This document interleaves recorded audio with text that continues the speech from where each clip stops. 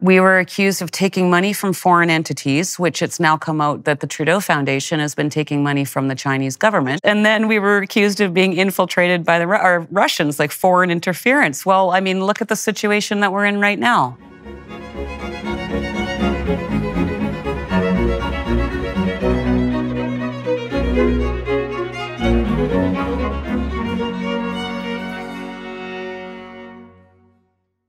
Hello, everyone watching and listening. I'm co hosting this podcast today with my wife, Tammy Peterson.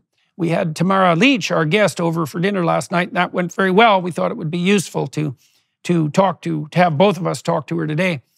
Tamara Lich explains her roles in the yellow vest like rallies that occurred in Canada, and the trucker convoy, her role in Wexit, a Western Canadian independence party, and, as I said, recently, her leadership in the internationally recognized Trucker Freedom Convoy. We discussed the current state of Canada, the current dismal state under Prime Minister Justin Trudeau, the tyranny he unleashed during the COVID pandemic, why so many patriotic Canadians are fed up, and the unprecedented punishment that's been unleashed upon those who, like Tamara, were daring enough to criticize their own leaders. Yeah, oh, Canada, indeed. Looking forward to talking to her. Tamara, maybe we'll start. Maybe you can let people know a little bit about you. You said last night that you're from Saskatchewan. You should probably explain what the hell Saskatchewan is to everybody listening yeah. to begin with. And then you moved to Alberta. Why don't you just walk through where you came from? You worked for the oil in, in the oil and gas field too, which is, or in the oil and gas industry, which is relevant. So Yes. You want to fill yes. people in? Uh, I was born and raised in Saskatchewan, and I lived in Saskatchewan until about 1998. And then we moved to Medicine Hat because of the Alberta advantage at that time. Um, we had really low energy prices there, and a lot of people, a lot of Saskatchewan people ended up in Alberta.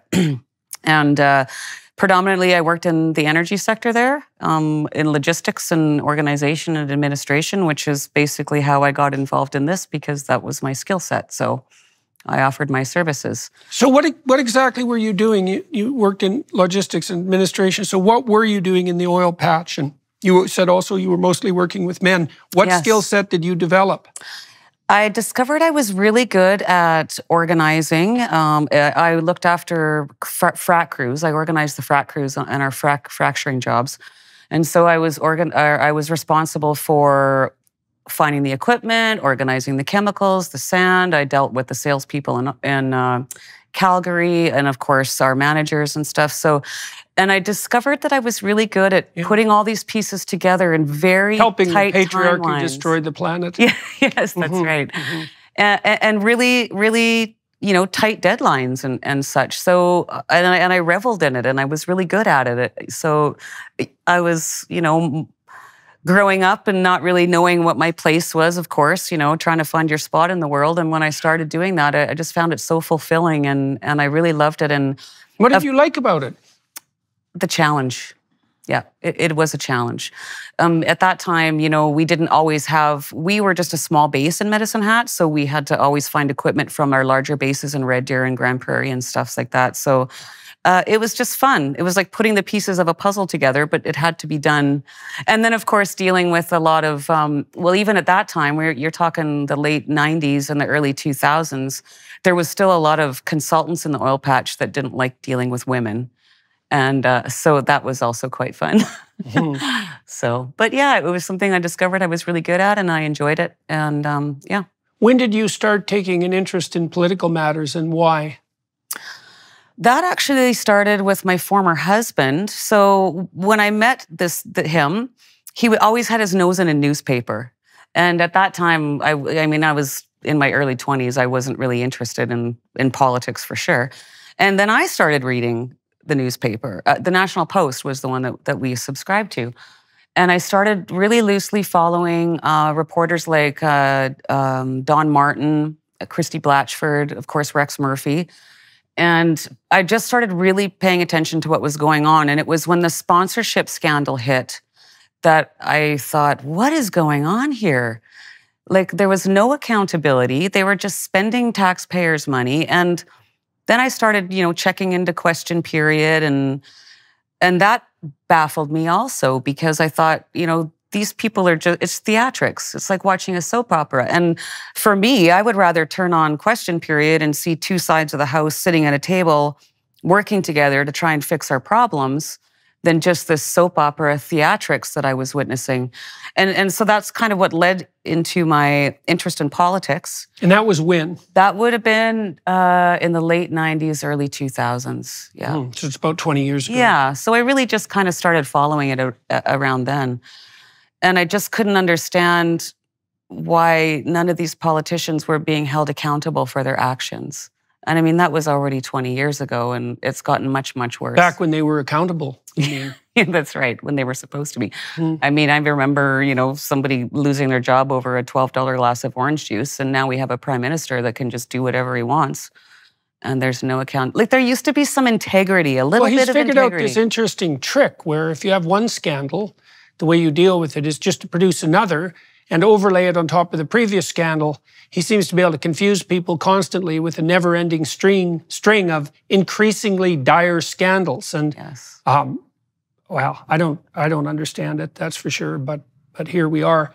Now, you said when we were talking last night, you said too that you also started to detect, and I don't know when this was, a certain amount of desperation on the political front in the oil patch because of mm. increasingly draconian federal policies. So, in Canada, for those of you who are watching and listening, the the provinces in the west of Canada are pretty heavily resource based, and Canada's a resource based economy still in many ways.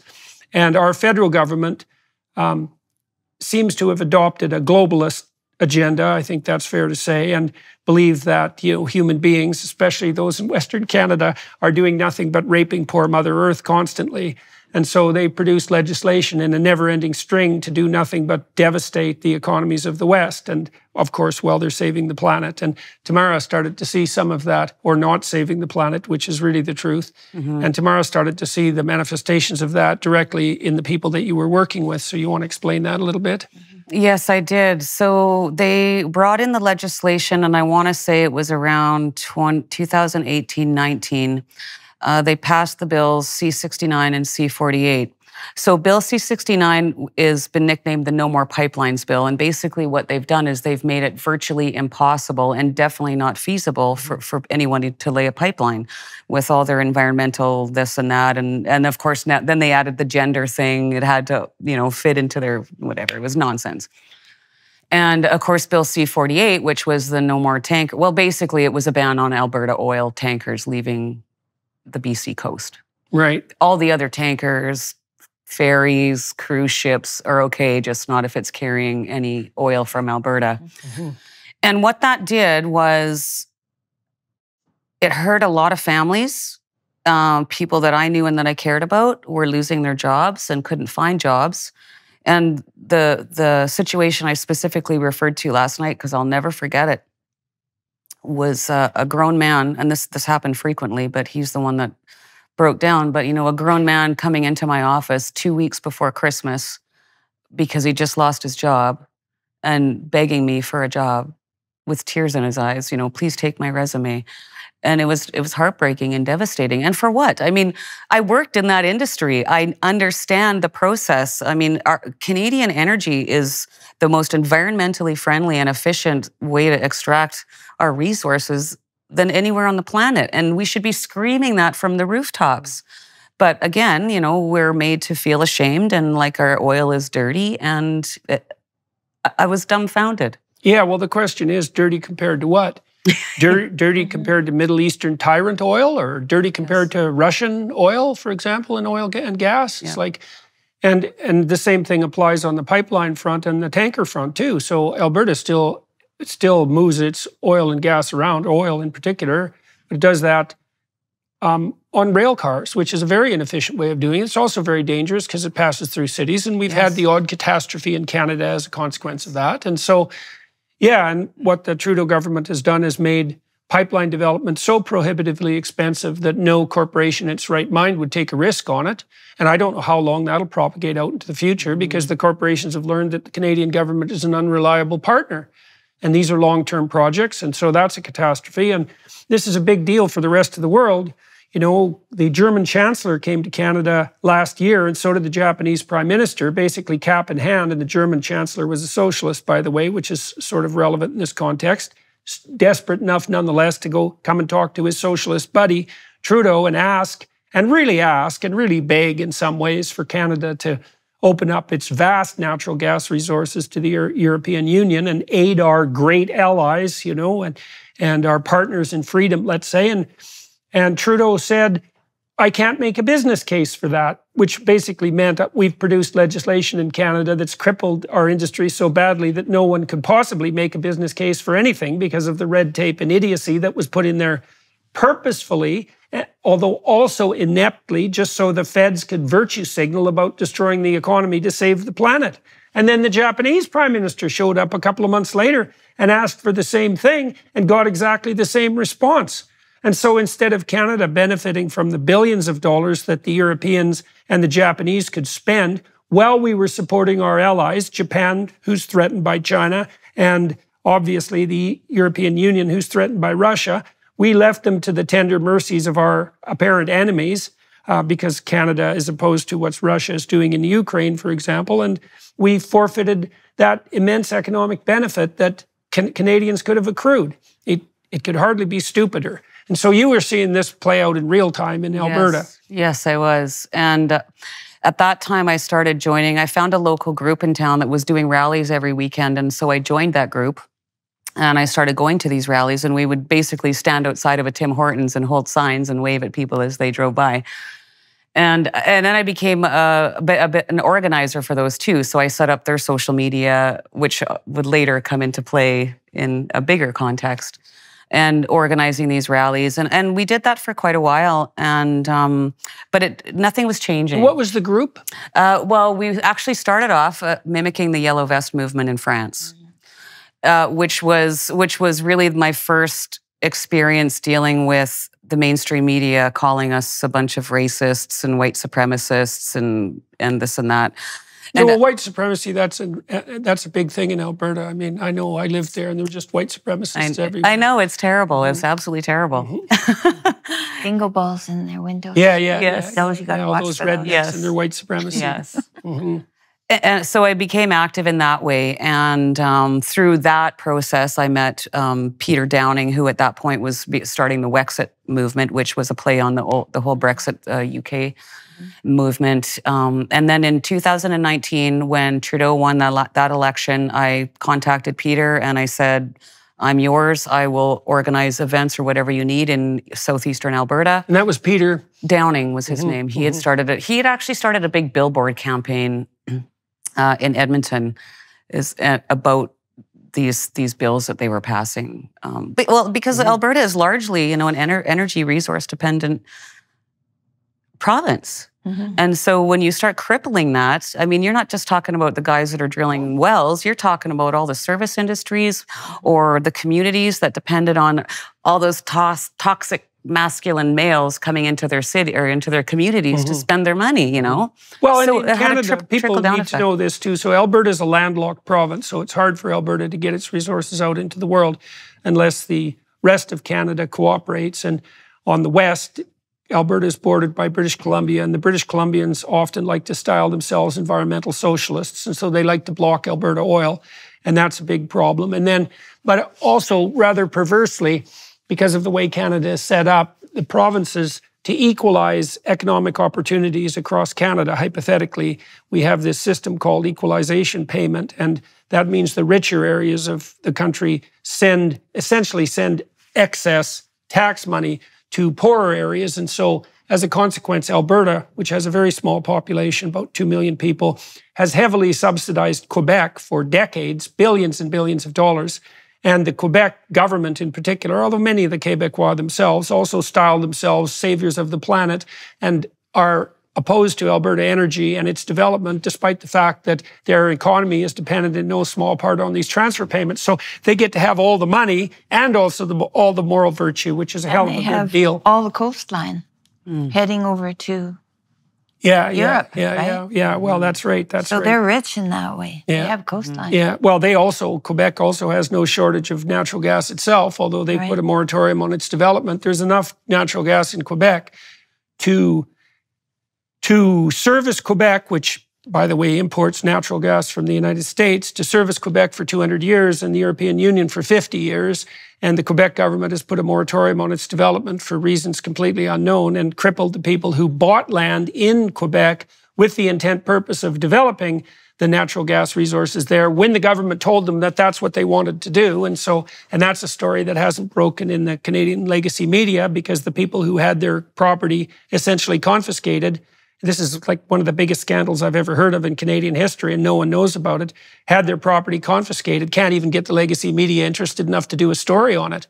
It's just mm. beyond comprehension. Mm-hmm. And so we have a very addled uh, adult country at the moment. All right, so you started mm-hmm. getting involved politically mm-hmm. with Wexit, for example, Yes. and working on the idea that Alberta and the West at least had to put pressure on central Canada, no, letting them know that we're dead serious about not having the federal government for the second time demolish Alberta's economy. Because for all of you who are watching, and listening, when when Justin Trudeau.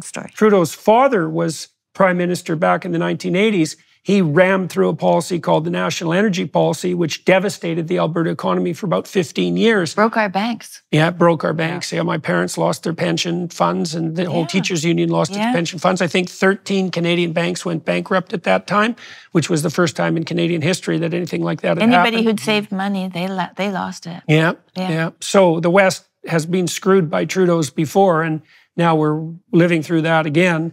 And so there is agitation in the West to to put pressure on the central government, and some of that pressure involves the threat of potential secession. Although I think that's very unlikely. I know that uh, Danielle Smith in Alberta and Scott Moe in Saskatchewan and the Premier of Manitoba have now put together a consortium to try to develop a port in uh, James Bay, which is you know pretty damn awkward because you have to go through the Arctic ice in a desperate bid to try to get Western resources out to the rest of the world. So we're we're basically at economic war in our own damn country. You know, while we fiddle around not saving the planet instead of cooperating together to make everybody in Canada as rich as Norwegians, which is exactly what we should be aiming at and could have done decades ago if we weren't so damn stupid. So stupid, blind, what would you say? Moral, moral, uh, falsely moral, virtue signaling, right? Yeah, pretty damn pathetic. Yes. And so, all right, so you were working with Wexit, and that was in 2000 and Uh, that was after the 2019 election.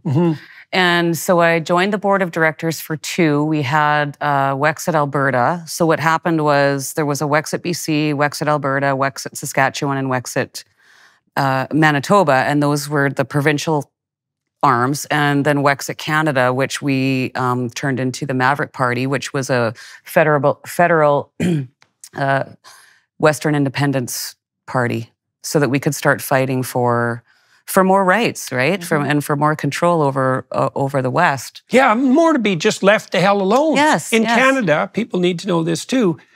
Resource development is a provincial matter, not a federal matter. The federal government actually has no constitutional right to be interfering in this regard whatsoever. And so it's a real encroachment on, because Canada was set up as a, as a true uh, subsidiary organization with each level of government having its requisite responsibility. And the responsibility of the federal government's government was actually quite limited and it didn't extend to resource development. And so there is no excuse for the feds to continually encroach on, on, on resource development territory.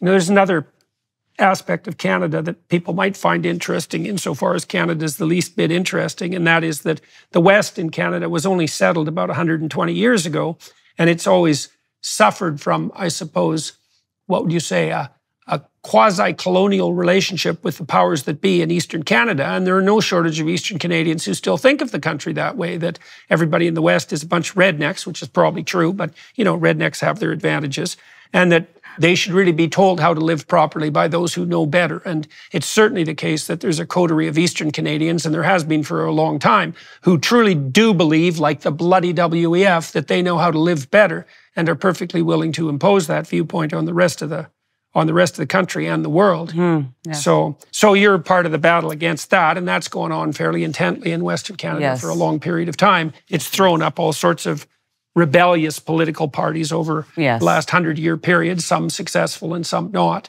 yes. All right, so you got you cut your teeth on the political front with the with the Wexit movement. What do you learn from that?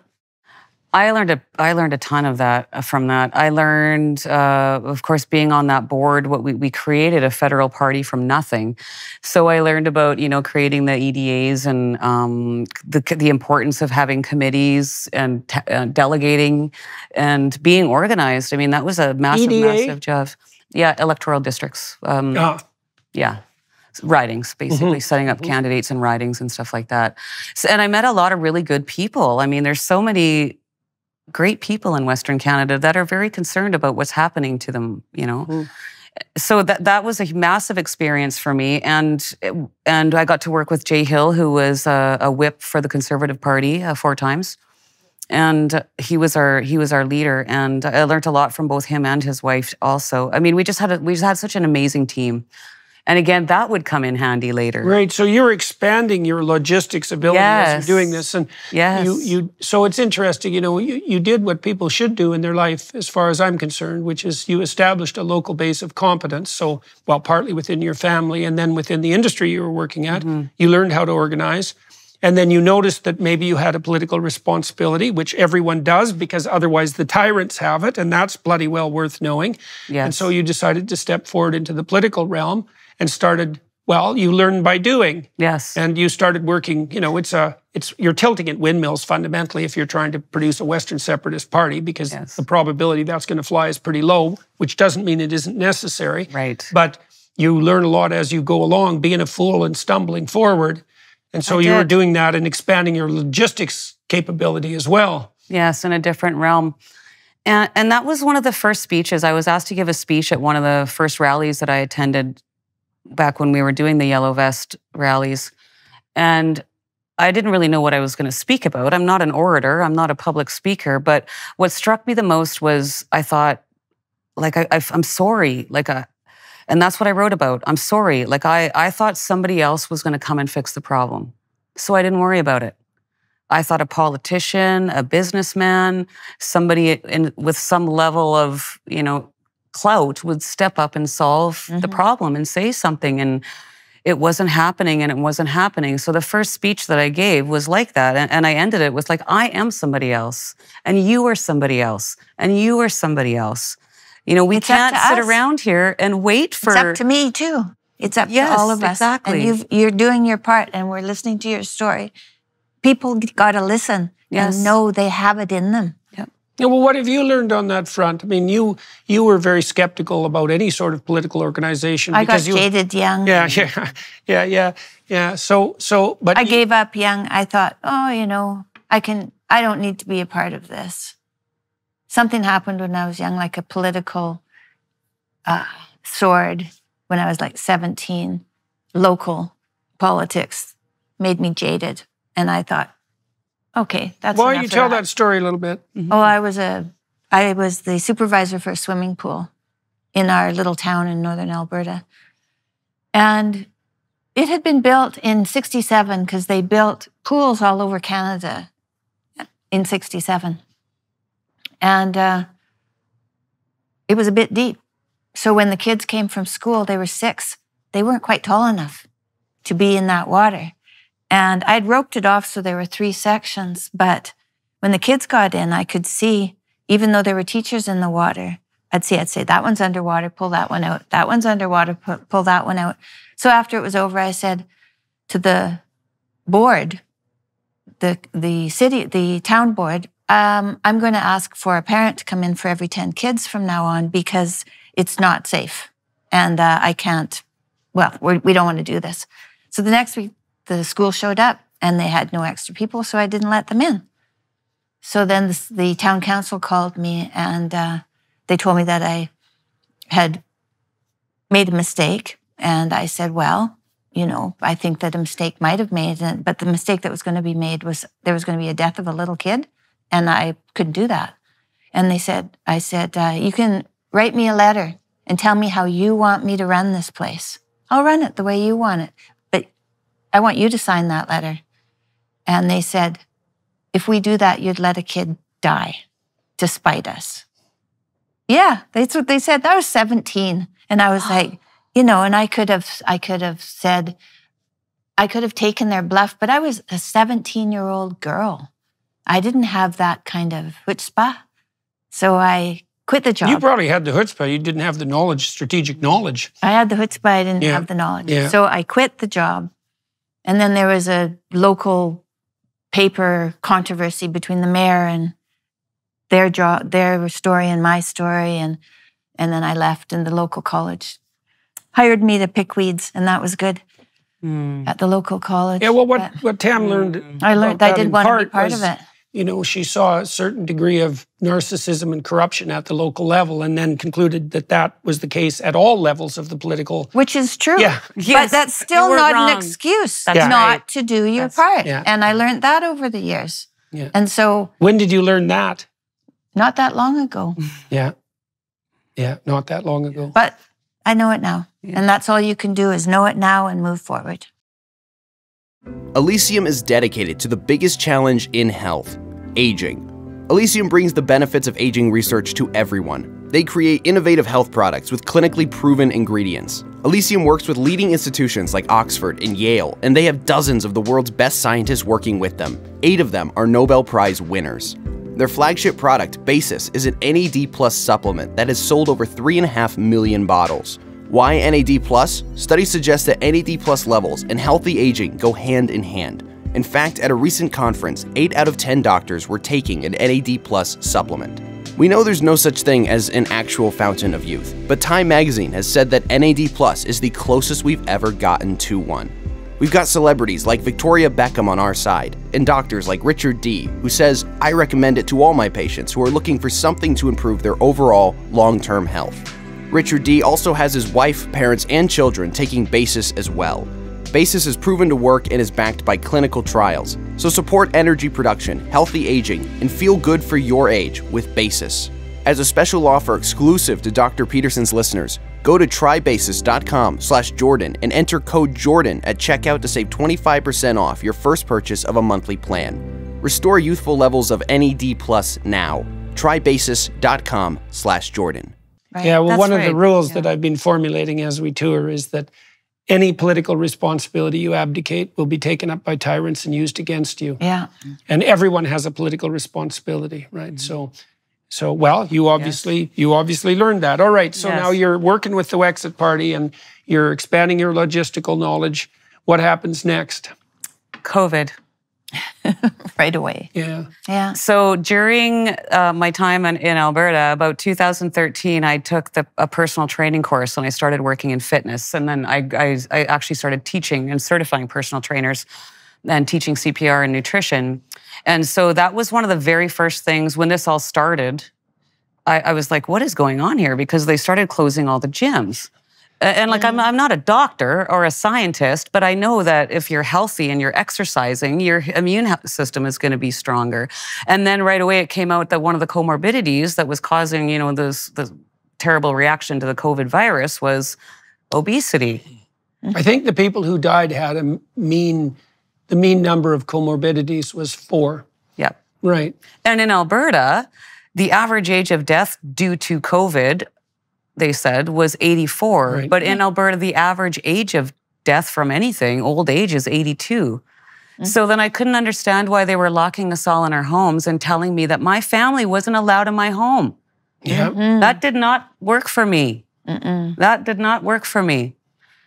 So my husband and I ended up after we both lost our jobs on the same day. Uh, we decided to drive out to Manitoba to visit my How do you daughter. lose your? okay, why do you lose your jobs? we were laid off. We Yeah. were laid off because we'd been sent home already. Well, I'd been sent home for two weeks because of COVID. And then, of course, there was the economic impact that came down with that. And we were a satellite base basically in Medicine Hat. So we ran two crews out of there as opposed to Red Deer where they had five or six crews or mm-hmm, whatever. Mm-hmm. So they ended up um, shutting down our base and mm. laying everybody off, save a couple of gentlemen that, that were transferred. And we decided to drive out to Manitoba to visit my one of my daughters who was out there on the farm. because our choices were we can sit here in our house and do nothing and watch the cars go by, or we can go be productive and And have a life. out and have a life and you know be outside and doing stuff. So, and then when we arrived there, I found out that I was going to be a grandmother again. Mhm. So we drove back to Medicine packed up a bunch of stuff, and we spent 19 months during the pandemic out in out in Manitoba. Nice. And I ended up getting a job there with the, the local municipality, which was good. That summer, I was I got a job there, and uh, and that's why I called it the pandemic of the Karens because I had, especially at Christmas, this one lady called me, just freaking out and angry because. There's four cars parked across the street at the Airbnb. I think it's an illegal gathering. Oh yeah. She has the same voice I do for, for Karens. Yes. I have a Karen voice And too. I- and I'm there are four cars across the That's street. right. Yeah, and I think they're having an illegal gathering, and we should really do something about that because there are children at risk. That's right. Yeah, yeah. Pat, pat, pat. I know. And just thinking that she was, I don't know what she was thinking. Anyways, She, here's here's what she was thinking. I saw people in Toronto think this way Yeah. a lot. So I figured that 70% of Torontonians would wear a bloody mask for the rest of their life, you know, without complaining, and half of them would enjoy it. And the reason for that is because it gave them an opportunity to tattle on their neighbors, to inform, right? And you know, in East Germany, one third of the people there under the Soviets were, were Soviet, direct Soviet informers, right? So if mm-hmm. you had a family of six, two people were informing on you to the government. You think, well, that could never happen here. It's like, yeah, it could. And you'd be one of the people that would be doing it. And you'd be happy about it. And you'd pat yourself on the back for doing such a moral job. It's like that, that proclivity for, for tyranny and, and the delight in informing, you know, that's, you know, and yeah, it's awful. it was sad. and I'm just thinking, sad. I did my job. I took all her information. I passed it on to uh, my CAO. And I thought, it's Christmas. Like this family probably hasn't even got to see each other in the last year. You don't have to go over there. You don't, you don't have to go on their property. You can just stay in your home and shut your mouth. And your windows and, And your that's curtains and quit peering out like Like I just Like- didn't. Und- I just don't understand that mentality. I, I didn't understand it. And well, they they weaponized they weaponized um, people doing the right thing. Yeah. Duty. Mhm. They weaponized duty. And yeah, they used fear to weaponize duty. Yeah. yes, Yeah. Yeah. Well, that's typical tyrant. That's a typical tyrant approach. Yeah. You know, They take that. fear, compulsion, power. You have to do this. Why do you have to do it? Well, it's an emergency. Who says it's an emergency? We say it's an emergency. We know what to do about it. Give up all your autonomy. Grant us all the power. It's like, oh, I see. That's why there's an emergency. So you can have all the power. It's not an emergency at all. That's right. Right. And if it is, it's like, well, was it an emergency? There's always a bloody emergency of one form or another because life is just Well- an endless catastrophe of emergencies. So, And if you remember at the beginning of the pandemic, Justin Trudeau already wanted to invoke the Emergencies Act so that he could just spend, spend, spend, spend, spend, and do whatever he wanted and not be accountable. I remember he wanted uh, free rein until the end of 2021. well, he basically suspended Parliament Mm-hmm. Yes, anyways and did. ruled by fiat Yes. the whole time. Yes. Parliament in Canada has just become. It's like a sideshow. That's not where the government actually operates. It operates out of the prime minister's office. Him and his bloody cronies, his wedding party crew. Yes. you know and and and and so we've lost well we've i don't know if we have parliamentary supremacy in canada at all now and of course the the way that we've rearranged our judiciary that we have activist judiciary in canada and increasingly the the supreme court justices are nominated by the federal government and so they've captured the court system as well and so well and so here we are all right so now you're you have a bee in your bonnet about covid too and you're not very happy about what's happening in western canada so you're starting to become an irritated person I was very irritated. And then I found um, Trish Wood's podcast.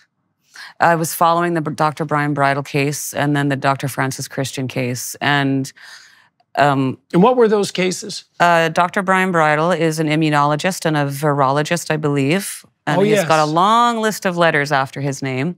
And he started ontario out- university uh, Guelph. guelph Yes, yes, yes. guelph that's right I, yeah, yeah. And Dr. Christian was uh, a doctor in Saskatchewan, uh, from at the University of Saskatchewan, actually, and he started speaking out about vaccinating children. Well, they both were, and they both lost their jobs. And as a matter of fact, the faculty at the University of Saskatoon were trying to talk to him like that maybe he was crazy. Yeah, yeah. That phone call was disturbing. well, there's no cowards like faculty cowards. Right. Yeah. Mm-hmm. You would probably know. and uh, so then I started follow. You know, I started listening to her podcast, and she was just a light in the dark because I was somebody that was finally talking common sense, in my opinion. And then I started following Dr. Zev Zelenko. Um, I started following Dr. Robert Malone, Dr. Peter McCullough, Dr. David Martin. You know, all these doctors. That's when Jay Bhattacharya was starting to talk on the Stanford front too. They really went after him. He lost 35 pounds in three months after he got pilloried by his his peers and compatriots at Stanford. Yeah, for being correct and careful. Yeah. And that also didn't make sense because science is supposed to be questioned. So when I when they say we're we're following the science, I mm-hmm. always think of the S with the mon- the money sign S. Mm-hmm. That's all, all I ever heard them say was we're following the mm-hmm. science. I never saw any of their science. I did see science from these other doctors. And well, Science, by the way, isn't something you follow. Science is not a set of moral prescriptions. When it's a set of moral prescriptions, it's ideology, not science. Yes. You know, at its best, science is, well, it attempts to be a value free and dispassionate portrayal of the facts. Now, that's tricky because, It's an investigation. That's Mm-hmm. what science yeah, is. it's an investigation. Yeah. Yeah. And the idea that, well, and then what happened too is the politicians who were cowards devolved their authority to public health experts and said, well, we don't actually have to make any decisions. The public health experts can. And they couldn't because they weren't economists. They had no idea how to calculate relative risk. They didn't take anything into account except keeping the public safe from a virus, which was their job, not to calculate the, what would you call it, the multiplicity of costs that would be associated with a pure public health approach to policy. So the, the politicians abdicated their responsibility, and the narcissistic politicians enjoy doing that anyways, because what you want is the glory, not the responsibility. And, and what I noticed too is that the fear mongering, like the propaganda campaign was heavy. And of course, at the beginning, everyone was talking about, well, we don't have enough hospital beds and blah, blah, blah, blah, blah. And, and I'm looking like I, it's 24 7. My radio station became the 24 7 COVID information station. And I'm thinking, with all the money that you're putting into marketing and mm-hmm. ads and on posters and all this stuff, Build some beds, oh, if we yeah. put that into our healthcare system, which they didn't ever. problem. No, No, problem solved. no, no, no, increase in ICU No. capacity. No, no, nothing that would have actually, in principle, addressed well the problem that didn't exist to begin with. But certainly, Yeah. that no, no development of ICU. I, what did mm-hmm. Canada spend? Some hundreds of millions of dollars on portable ICU beds that were never even implemented. Right? They just sit in a warehouse with warehouse storage costs. I can't remember how many hundreds of millions of dollars is spent on that some appalling amount, mm-hmm. right? So all the money was poorly targeted. They never went after the actual problem. Nope. Yeah. It, it, it just didn't make sense. And everybody that I talked to, excuse me, whether they were on this, the side where they thought COVID was going to be the end of all humanity, mm-hmm. or whether they thought COVID didn't even exist, everyone said to me, something doesn't feel right. And that was their Intuition. intuition. And and that stuck with me. And it because it didn't feel right to me either. And um, yeah, so I just started following these doctors and r- looking things up for myself instead of just listening to what the. I mean, I stopped believing in the 2016 American election. I quit basically watching the news. Uh, so, and um, Yeah, well, that's about when the legacy media got finally Yes. corrupted, right? And bec I mean, part of that's because they're facing such an onslaught of competition from the online, well, from the online media. Essentially, they're going to die, and you can see that happening. in Canada and CTV and Bell Media laid off all sorts of journalists yesterday, Yes. including top journalists, right? And so, and they certainly deserved their their demise like like nobody's business. But it's part of the inevitable triumph of the distributed media because there's no way the old legacy media outlets can, can compete with them. And they started com- losing their best people and then competing on the clickbait front. And, you know, it's just a degenerative spiral, and we're seeing that play out. So, yes, we are. Yeah, Yes, yeah. we are. It's a travesty. so now you're still in Manitoba while this is happening? Yes, I was. Actually, my husband and I just moved back to, uh, we both got offered our jobs back and in October of 2021. And we moved back to Alberta and both went back to work at the end of November. And then we moved into our new house on a week before Christmas. And then two weeks later, the convoy started. So it was kind of funny. Even when I got back, it looked like like two college kids had just moved into this house and dropped everything, and because I was obviously gone for a while. And uh, yeah, so so we went back to work, and then middle of January, my friend Cindy sent me a TikTok video that Chris Barber had done. This is January, what year? January 2022. 22. 22. Yeah. Yes. Where Chris was, was advocating for, he had a massive TikTok following. I guess that's a trucker thing, Mhm. TikTok. Mm. And he was calling for a, a Canada wide shutdown. Just wherever you are, shut off your trucks, don't move. Mhm. And Brigitte Belton, who is a trucker from Wallaceburg, I think it's Wallaceburg, Ontario, had reached out to him too because she was having issues crossing the border already. So why were the truckers upset specifically? There was border crossing issues, but why the truckers in particular? Because after two years of our prime minister calling them heroes and liking them to soldiers going off to war, he decided to implement the cross border trucker mandate. So, unless they had a vaccine passport, they would have to quarantine for 14 days. So you're ta- especially in Ontario where you're you're they're always like some people are doing this every day. Yeah. How do you feed your family if you can if you have to take 14 days off every time you cross the border? It's impossible. So the, these people, these blue collar heroes, I call them, that he had propped up and, and complimented and sang their praises from the rooftops had all, all of a sudden become public enemy number one. And that was that was it for them. And that's telling because I'm telling you, they went for the healthcare workers and the doctors.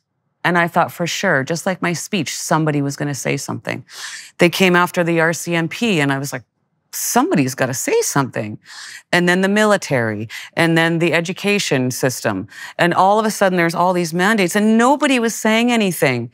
And finally, when they came for the truckers, they're like, no, no, this is not acceptable. So I, I, got I got that TikTok from Cindy about Chris, and um, I actually messaged her because there had been a convoy that came out here in 2019 that was advocating for our energy industry, and I said, "Well, what do you think about another convoy?" And she's like, "Well, it didn't really accomplish much the first time." And I said, "Yeah, you're right." And then I messaged a friend of mine in Manitoba, and I said, "What do you think about a convoy to Ottawa?" And he said the same thing. So in the meantime, Well, so what was it about the convoy idea you think that was attracting you? I mean, you're pursuing it with some degree of, of fervor, even though, in, in, by your own admission, the last time it occurred, it wasn't that helpful. Why do you think that idea?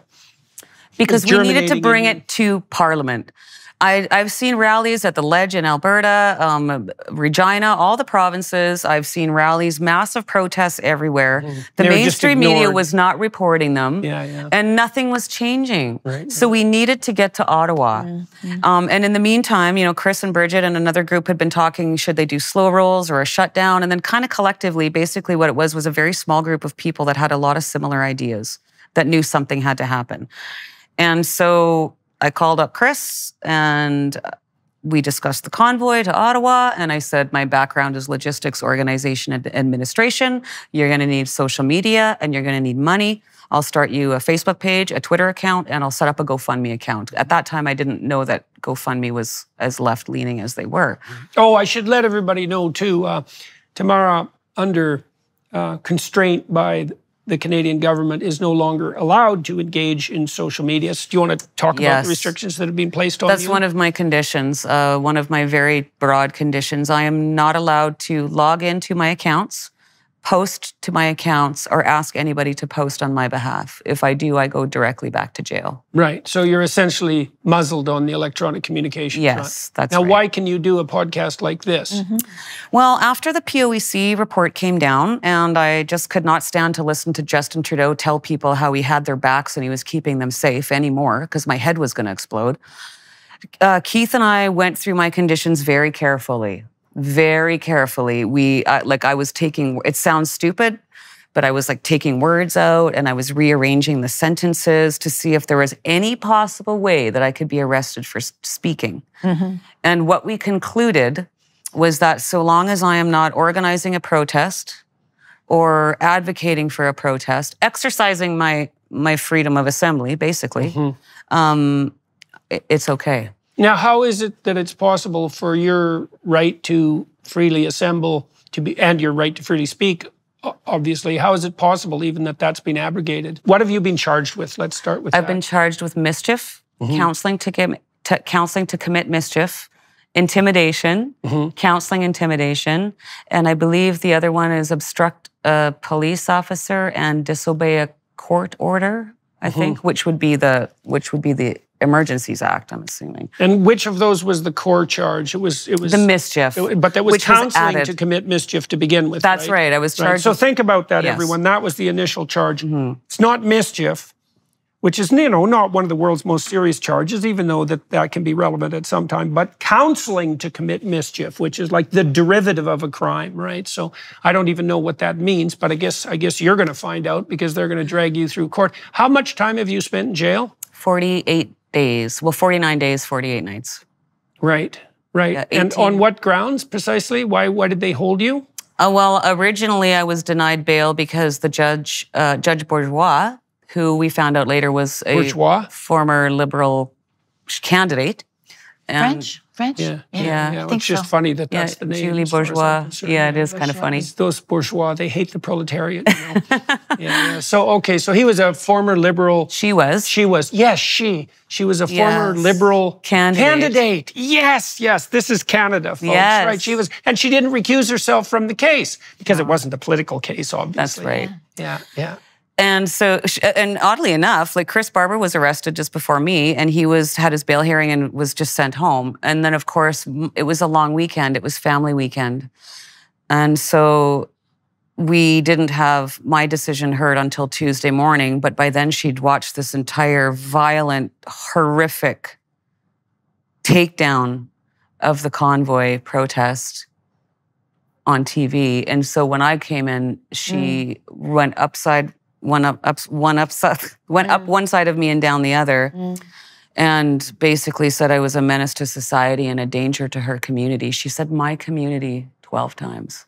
Mm-hmm. Where is she? Where Where is she located? Oh, she's. I see. So you were you were honking her into a state Oh, of I frenzy. see. weren't? Yes. Yeah, I know. There were a lot of Hmm, there were a lot of the haute bourgeois in Ottawa who didn't take kindly to being honked at. It's traumatizing, you know. Yes. You have people whose lives have been destroyed come and you know peacefully complain about it after being oppressed by dimwit, dim-witted moralizers for two years. which, How dare which you? was frustrating because you know we didn't want to go we definitely didn't want to upset the ottawa residents that was never our intention and but you have to have some level of disruption but for me to hear people talking about honking horns when we just drove across canada and i had people every single day and still to this day telling me they were planning to take their own lives Mm-hmm. or that they had family members that had already taken their own lives, or that they were living in their car, they lost their business, they couldn't go kiss their mom goodbye before she died. Mm-hmm. And you're gonna complain to me about honking horns? Are you kidding me? And to, so for me, that was a real eye opener because, you know, of course, we always know that there's the laptop classes, what we call them now. But it was really the sense in some cases, not all of them, because there's some beautiful, lovely people in Ottawa. We had a lot of support from Ottawa residents and a lot of federal government employees. But it was almost a sense of like, how dare you, blue collar Yep. workers with your dirty hands, come and set up and front your ability to do things. That's the most annoying part of blue blue collar people. They're good at doing things. It's like, that's really hard on people who can only think abstractly because they like to think they live in some sort of what would you say privileged moral universe where their ability to deal with abstractions is what constitutes real and then they always end up depending on those bloody blue collar people whenever anything needs to be done it's very very annoying Yes. Mhm. Yes. In a world filled with uncertainties, it's crucial to be ready for whatever comes your way. Whether it's a natural disaster, a sudden emergency, or unforeseen circumstances, having a reliable food storage system can provide you with peace of mind and the assurance that you and your loved ones will be well taken care of. Right now, My Patriot Supply is offering major savings on their four week emergency food kit to help you stay prepared for anything. Go to preparewithpeterson.com and grab this special price before it ends. Your four week emergency food kit provides over 2,000 calories each day for optimal strength and energy in stressful situations. You can enjoy a wide variety of My Patriot supply and can even customize your supply. They offer an ultimate breakfast kit, a mega protein kit with real meat, and even a gluten free kit. The best part is each meal is delicious and has a shelf life of 25 years.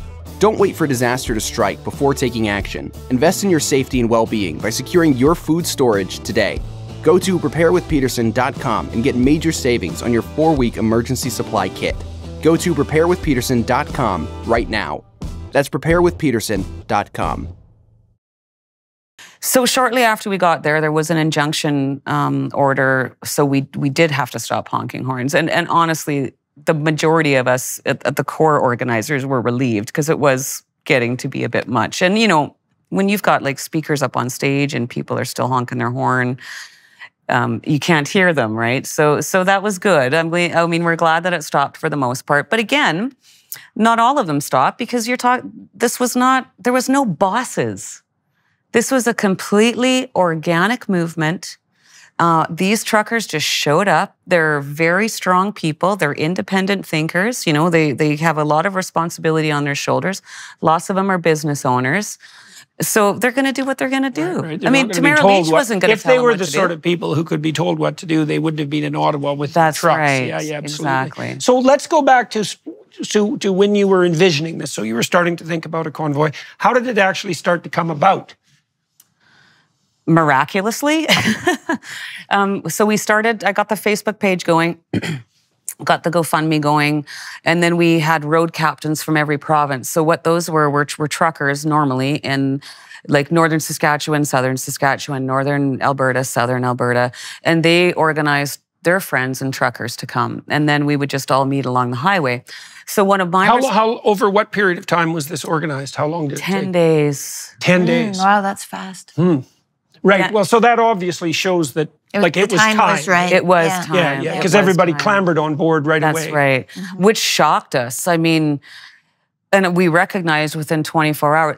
In my head, my vision, I thought we'd maybe raise $20,000. A few truckers would drive across Canada, stand there with some signs, hop back in their trucks, and come home. Mm-hmm. Mm-hmm. So within 24 hours, we had over $100,000 in donations already. And, and, and so with my experience with the Maverick Party, I was like, I need a finance committee. Boom. So I got some volunteers. We created a finance committee. And then I was also monitoring our social media. Why did you do that? because I, the the uh, fundraiser was set up with my name on it, and it was important to me that Canadians that were donating a had a sense of who I was, because that's a lot of money. They were trusting me essentially with their money. And I wanted to explain the whole process, like how we were going to be accountable and transparent. I had two bookkeepers on the committee, and we had a, an, an accounting advisor, an accountant from from Medicine Hat and I just and it was their money, so it was their decision. Like you know, I wanted to let everybody feel like they had a say in this. Mm-hmm. Basically, I was running the a government type say or running this organization. I guess how I thought the government should be run. Mm-hmm. You know, open and transparent, and I just wanted everyone to be at ease that we were going to follow through and we were going to keep them informed every step of the way. So tell us what happened on the GoFundMe front. Yeah, so I didn't know a lot about GoFundMe when I started the campaign. I just knew it was a big crowdfunding source. And so I set up a GoFundMe to start collecting donations. And as we were, well, obviously, I mean, the, the money just started pouring in. And it was, it became very clear to me right away that they were kind of dragging their feet. Who was dragging The the feet? GoFundMe in oh, Okay. releasing the money. Okay. So, be, because they'd send an email with, you know, three questions on it, we'd answer those questions. Then we'd get an email with five questions on it, and we'd answer those questions. And it just was this constant back and forth for about two weeks. Finally, when we got to Ottawa, uh, the Thursday right after the lawyers all arrived, we had a meeting with all of our lawyers, GoFundMe, their lawyers, and our accountant and it was it was great. They were going to release everything. They were happy with all of our answers, and we woke up the next morning and they had frozen our campaign. How much money was in it at that, that point? Ten million dollars. Who froze it? GoFundMe.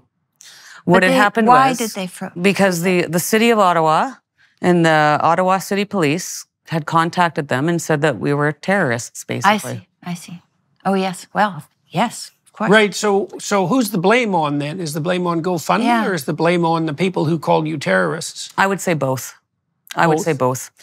Why both? because- you think GoFundMe should have told them to go to hell like I Give think they Go should have. did? That's right, exactly. Yeah. And what It's called happened was GoFundMe for goodness sake. Right, Exactly. right, yeah, right, right. And- it's and really the- their job. the ironic thing is, is that we've watched the Black Lives Matter protests. Mm. Uh, I watched the the Chaz Chop autonomous zone that they had set up in Seattle, and at some of these protests, like people got raped, they murdered, uh, businesses were looted and and burnt to the ground. Yeah, but that and was in a good cause. Tamara. That's right. That was for a good cause, right. right. right? That wasn't like Confederate flag flying Canadian Nazis. Nazis. Yes. By the way, for everyone watching and listening, there are no Confederate flag waving Canadian Nazis. That's not a thing. Nobody waves the Confederate flag in Canada. Most Canadians don't even know what the hell the Confederate flag is. And uh, Nazis, that's just not a Canadian thing. So that's all complete bloody lies from top to bottom in every possible way. So GoFundMe stopped $10 million. Yes. And then, if I remember correctly, they then announced that they were going to distribute it to charity unless people wrote in specifically and requested a refund, and that they were going to pick the charity. Correct. Right. That Black Correct. Lives Matters, though. They got their money. They did. Even though there was raping, Yes. murder, Yes. all kinds of things. Mm-hmm. They got their money. Of course, that was in the States, wasn't it? Yes. Yeah, but that shouldn't make a difference. No, it and then, shouldn't make a well, and then go and then give send go didn't abide by the dictates of the Canadian state, right? So Correct. they had they had a bit of a spine. So you flipped from GoFundMe to Give Send Go, Mm-hmm. and then you raised another ten million dollars. What happened to it? Well, the government of Ontario wanted to seize it immediately, and it Those were conservatives, by the way, Yes, right? this is right. This is true. And so the writing was on the wall. They, we were never going to get those donations across into Canada. So Jacob Wells, one of the founders, him and his sister founded Give Send Go, um, decided that he was just going to refund everything. And I know that the lawyers got up and said, "No, you're not going to. We're going to file whatever they needed to file to stop that from happening." And he said, "By the time you have your paperwork done, it's going to be back in their accounts. You have no jurisdiction here." So kudos to him. Yes. So what had happened was uh, GoFundMe had, had had released one million dollars into my account, and so I'm actually quite happy that uh, it did cost them a million dollars because they ended up refunding everything. After that statement, where they were just going to donate it to whomever they wanted to, Ron DeSantis, the governor of Florida, stood up and said, "No, you're not." I am going to have you investigated for fraud. And then all of a sudden, it was no problem to refund everybody.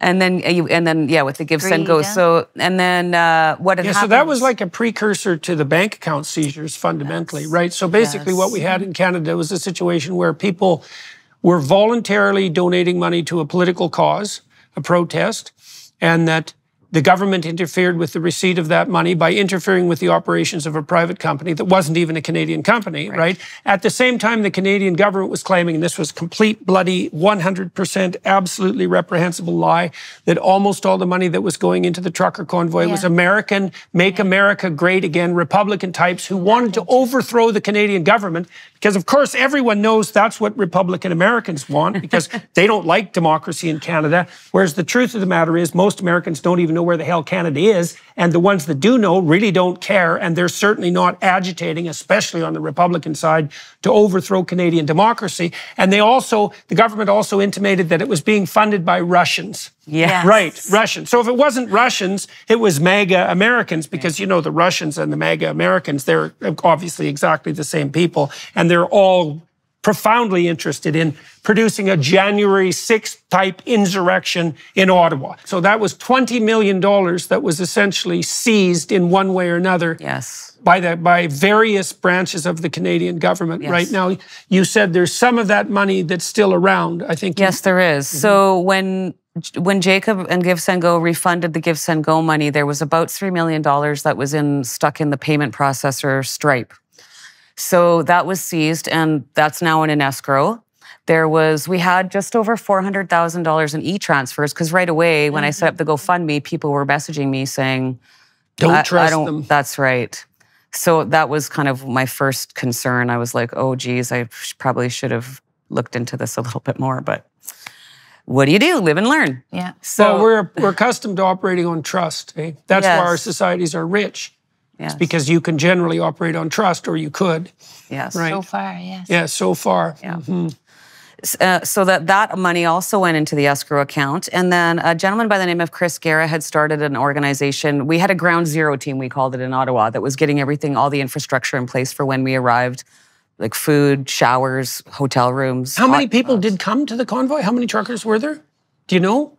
Approximately? i have no idea Where did they come from? they came from all over they Did they came come from, from the, the coast too? of bc they came from the coast of newfoundland Oh, wow. they came from the northwest territories Oh, we had really? americans that came up and joined us Oh, and that was funny because you know we had a finance committee in place so we Mm-hmm. put procedures and processes in place to so that this would all be accountable and we had all the and so one of my jobs was going to be to stand at the gas pumps and record every trucker that came through with their truck number and their name and their receipts which in the first day was not even possible. Mm-hmm. and we were uh, one of my other jobs was to get truck counts every day but that was impossible because w- the situation was that a lot of people couldn't go all the way to ottawa so they would join us for like Mm, 100 kilometers or a province or you know they'd get to the manitoba border. So we always had people coming and going. What did you see when you came across? oh Please tell me. the most beautiful show of humanity and unity i've ever seen. I've, I've never seen anything like it. After all these years of you know especially living under this prime minister who has tried to constantly divide people by race religion culture income bracket geographical location. Gender, gender sex, yes. gender identity. yes yes. Mhm. so we were coming through manitoba we were coming through headingley and it was the most massive crowd i've ever seen and there was native drummers Mm. on the side of the road dressed in their full regalia and standing beside them were like four sikh gentlemen and standing beside them were hutterite women with their children holding signs thank you for giving us back our future and beside them was nuns in full habits Mm. and to me You know that- when the nuns are protesting that things aren't good. that's right exactly Yeah. Yeah. and the hutterites right, right, Yeah, absolutely. They're not They're known not for their political. political. We No. had them all the way from Medicine Hat, um, all the way through Manitoba. And I found out after, because my dad's great friends with a lot of the colonies down there, Mhm. that they would go to one intersection on the si- like back road, watch us go by, hop in their vans or trucks, drive two miles down the road, and they did this to just watch us, you know? Egg Uh, you on. Yes, Yeah. and support. And it was just incredible because it didn't matter. None of your background even mattered. Right. It was, we were just Canadians. Right. For That's once. it. For once. Come on, you know. And what sort of distances were people driving? Like, because lots of people watching and listening don't know how big Canada is. So you said from Medicine Hat to Ottawa is 36 hours. 36 hours. I think that's about uh, 3,500 kilometers. Yeah. And so, which is quite a long ways, but we had people, the clan mothers that joined us came from the Northwest Territories and they had, there was truckers that had come from the Northwest Territories and, and, uh, and the East Coast, um, Newfoundland, New Brunswick, Nova Scotia. This was truly a Canadian movement. Like we had people from everywhere. Mhm. Northwest Territories. Yes. I didn't know that. Yes, yes. Which shows you that people, like you said earlier, were ready. Well, and desperate. I mean, the thing is that for the for the so first of all, this was in the middle of this was in the middle of the winter, Yeah, right? Right, and that's winter. It's not It was minus twenty in Ottawa for most of that protest Yes. day. Yeah. Yeah, and then those truckers were taking their rigs out of service for what two weeks, something Yes. like that. Some of them are longer, three weeks, right? Which is a major economic hit. You have to be driven to some degree of desperation. Yes. And it's not like Canadian truckers, like Dutch farmers, are known for their political activism. I mean, they've never been a politically active active class in Canada. There's no history of even labor agitation on the No. trucker side in Canada. So the fact that it was them that finally had enough is really telling. Well, just like it is Yes. telling on the Dutch farmer scene, Yes. right? And the Yellow Jackets to some degree. I mean, the French are a lot more mm. volatile with their political demonstrations, but. Right. Canada doesn't have a history of this. This isn't something that ever happens here, just like it never happens in, in the Netherlands. And so, all right, so you're driving down the road and you're seeing all these people, and and and this thing is like ballooned like mad, way beyond what you had initially envisioned. Yes. And you're on your way to Ottawa. What happens when you get to Ottawa? we pulled up onto the hill uh, well, we got into Arnprior on the Friday night, and Saturday we drove up around noon. We met at noon and drove into Ottawa, and the crowds, all the way from Arnprior right into Ottawa, were amazing. The overpasses were filled with people, and uh, it, it was just so beautiful.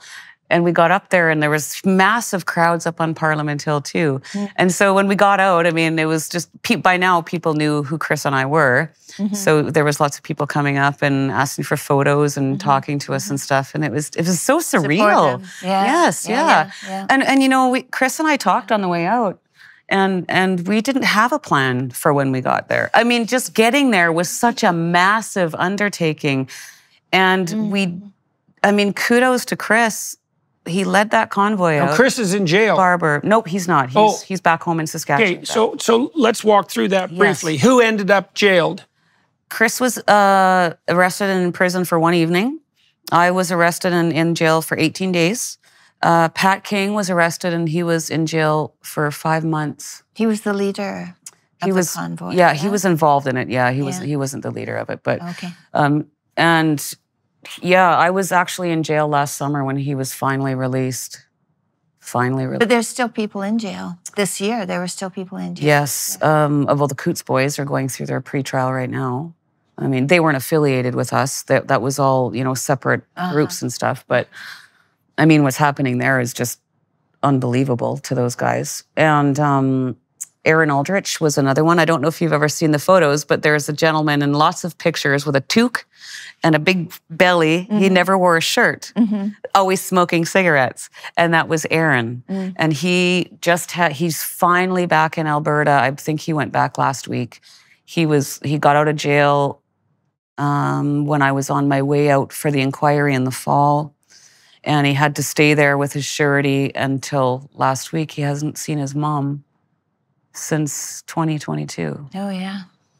Okay, so what's happened? So now in Ottawa, you have all these trucks gathered. And there's hundreds of them, or are there thousands of them by this Thousands. point? Thousands, Thousands. of trucks by this point, Yes. right? So everybody's shocked at the magnitude of this, including the Ottawa bourgeoisie, who aren't very happy with all the honking. There's a lawsuit about that, eh? That you're Yes, also facing four hundred million dollar class action suit, Yes. right? Because of the economic harm caused by the trucker convoy, Yes. right?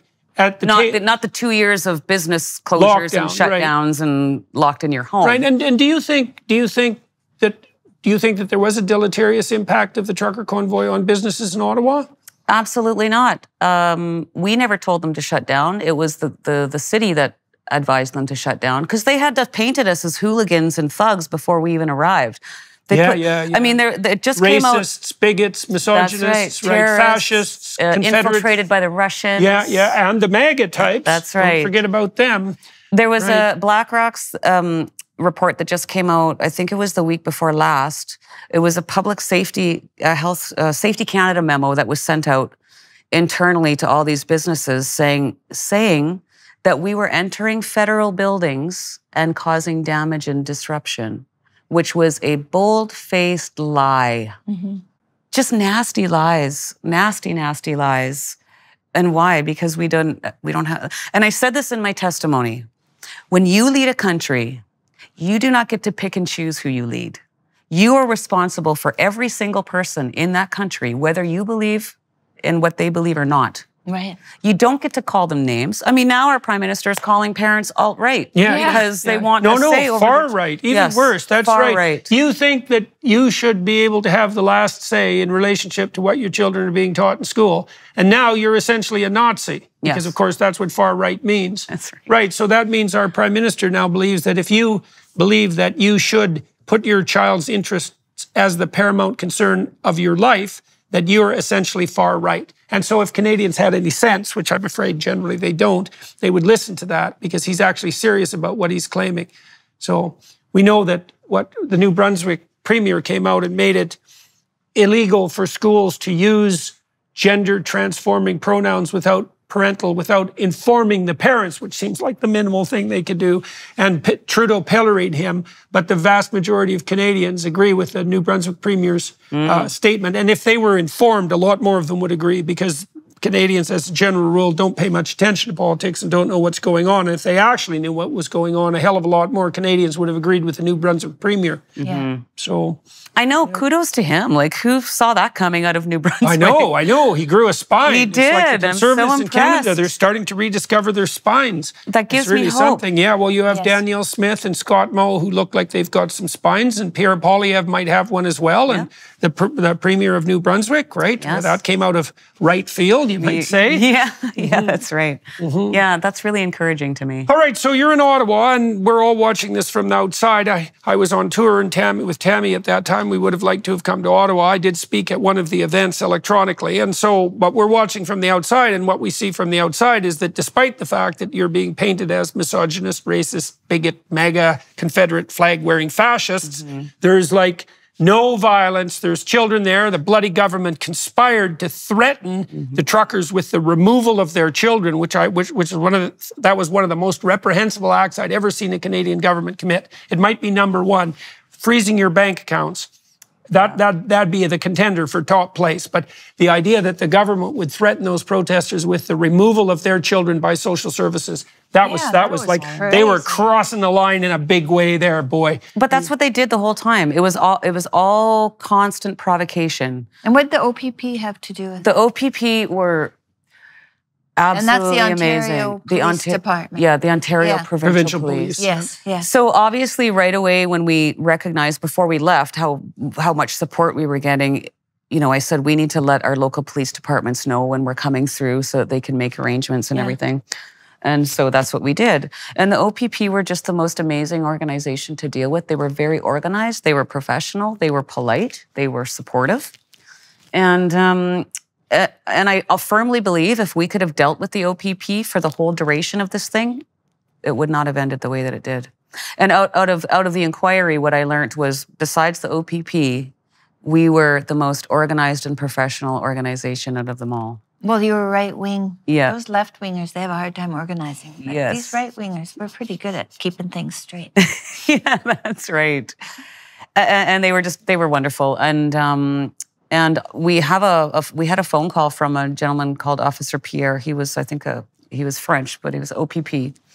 The night after the raids, because the first thing they did was uh, they they raided Coventry, which was where we had a lot of supplies and donations and a lot of trucks parked. And they went in there And they is who? the Ottawa City Police. They had snipers on the roof and they stole food, they stole fuel, uh, they stole firewood, whatever, whatever they could take, basically. Now, remember, this is minus 30 right, in Ottawa. right. Yeah, I lived there. It's cold in February. It is cold. Colder than it is in Alberta, really. Mm-hmm. It's cold. Because it's humid Minus 30 is it's cold. You don't last outside very long. No. Minus 30. No. About half an hour. And then they started taking the jerry cans, which is when Yeah. I mean, this is the beautiful thing, like I was saying last night about Canadians. He calls us a fringe minority. What do Canadians do? Everyone's got a t shirt or a tattoo or a hat or a bumper sticker. Like they owned it. Like now we're proudly the fringe minority. Right, and they said they were gonna they were going to confiscate jerry cans, and so Canadians Yes. came out in, in hordes with empty jerry cans. Yes. Hmm. Yes. And that oh, was Empty- was that spontaneous? totally spontaneous. Nobody organized that. Th- They just started showing up. Some of them were empty. Some of them were full of water. Like some of them had fuel in them, but because they were threatening to start charging people that were bringing it in with mischief. Yeah. And again, Canadians just took that and ran with it. You know, mm-hmm. that's the- it was just a. They even had a they had a jerry can fashion show on the stage. you know, so it was brilliant. Humor. So so now what's good. hap? Okay, so what's happening as the protest progresses? The what's the mood in downtown to Ottawa, and what's actually going on? You have a center stage or a couple of center stages set up, and there's people speaking. Tell us a little bit about what you would have experienced being there. it was like Canada Day on steroids. It was the most mm. beautiful, loving, healing atmosphere ever. I mean, strangers were hugging and crying on each other's shoulders, and people were singing "O Canada" and you know, flying our flag so proudly. Finally, it was a beautiful, beautiful atmosphere. Um, whi- which was not what the mainstream media, of course, was reporting, but it was very jubilant, very happy the thing that struck me the most though was you know people would come up to me and hug me and cry on my shoulder and tell me their story and you know thank us for what we were doing but it was the immigrants who when they came up to me Mhm. had this look of desperation in their eyes like nothing i have ever seen before it was gut wrenching you know and because they've lived through this they've they've watched all these signs and now Where they're they from? they escaped um, Poland, Russia, Iran, Romania, Right. Eastern Europe, China. Mhm. you know. People under despotism. That's right. People that have escaped Mhm. communist Yeah. countries. Yeah. And, and I'm telling you, the look in their eyes was And we've seen that look in Eastern Europe plenty. yes. Yeah, because the Eastern Europeans, they're not very happy with all the woke nonsense they see enveloping the West. yes. You know, when we've gone through Eastern Europe, they tell us consistently, it's like, what the hell are you people doing? Don't you know what that did for us for 70 years? You're walking down exactly the same pathway. How can you possibly be so blind?